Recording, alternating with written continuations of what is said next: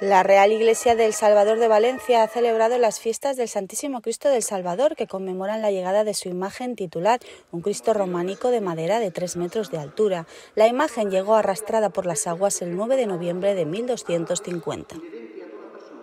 Tras la celebración de una Eucaristía tuvo lugar la tradicional procesión del Santísimo Sacramento bajo palio por las inmediaciones del templo. Durante las celebraciones de las fiestas se hizo entrega de las medallas a los nuevos miembros de la Real Archicofradía y Hermandad del Santísimo Cristo del Salvador, entidad fundada en 1616 que se encarga de organizar estas fiestas.